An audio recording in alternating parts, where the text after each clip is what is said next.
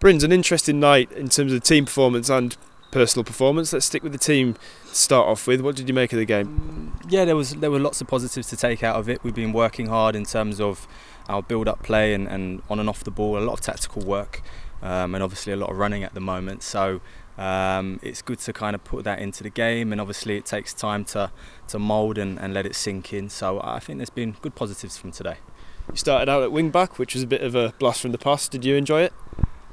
I did, yeah. I mean, don't get me wrong. It's it's uh, it's a lot on the lungs compared to the the, the right centre back role. Although I guess right centre back, I, I would drive and, and run with the ball quite a lot. So similar in some ways, just different areas of the pitch. Uh, but no, I enjoyed it, and I, I, like to play any any position that allows me to run forwards. I enjoy it a lot. So no problems. Yeah, you switched back into that right centre half role, didn't you, towards the end? Yeah. Do you see a confirmed role for you in this Luke Williams team yet, or do you think there's still a lot of stuff to be ironed out between now and the start of the season? Um, I think it takes time, and you know, there's a lot of competition. So you know, we've got a lot of good players in this squad. Um, the depth is fantastic. Um, so we'll just have to wait and see. I think collectively we have to all work hard as individuals, um, focus as a team to help um, help almost integrate what the manager wants us to do. Um, and then we'll, we'll, go from there. So everyone's working hard as they can, and then you know hopefully we'll be prepared and ready for the start of the season. You're one of our longer-serving players. I think fans would be interested to hear what you've made of, of Luke and Ryan's approach so far.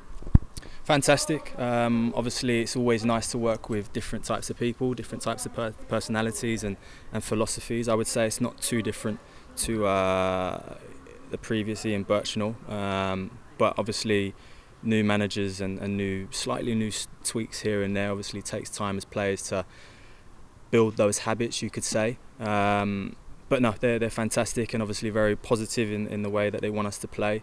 Um, the expectations and the standards are very high, gold standards that we have here. Um, so, you know, it'd be exciting to, to get the campaign started.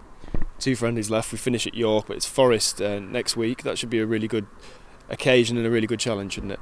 Definitely. Obviously, they'll be on a high with the momentum getting promoted to the Premier League. Um, it will be a fantastic test for us.